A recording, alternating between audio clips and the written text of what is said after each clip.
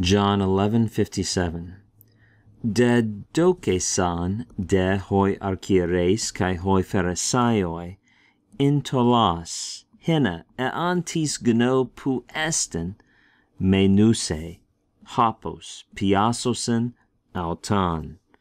We continue to read about this tense situation at the Passover where the religious leaders are seeking to seize and kill Jesus, we read, Now the chief priest and the Pharisees had given orders or had given commands.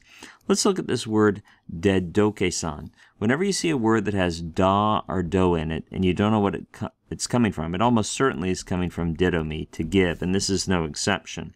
You see the kappa, you see the reduplication, you think, hmm, is that a perfect? But then you have this, rather than regular alpha endings, you have this diphthong A, and maybe you remember the paradigm.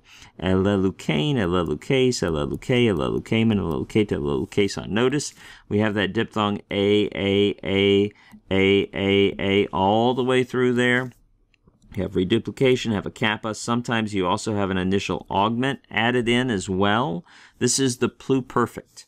The pluperfect. So the translation, I had loosed, you had loosed, he had loosed, all the way down here to they had loosed. Here, they had given. It's that third person plural, pluperfect, active indicative, third person plural. Remember, we normally translate that in English with had plus the past participle had given in this case. Now the chief priests and the Pharisees had given orders that, uh, uh, uh, we know the subjunctive's coming, there it is right there, has a sigma, has a lengthened vowel, that's an aorist subjunctive, that he should inform, that he should disclose implied it.